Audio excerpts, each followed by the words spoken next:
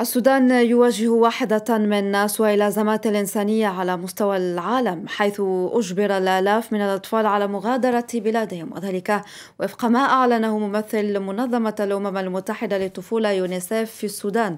المسؤول الأممي أعرب عن قلقه البالغ إزاء الأزمة الإنسانية المتفاقمة في السودان مشيرا إلى أن أكثر من 25 ألف شخص يعانون من انعدام الأمن الغذائي جراء استمرار الحرب منتقدا في الوقت نفسه تجاهل المجتمع الدولي لهذه الأزمة المتفاقمة في البلاد.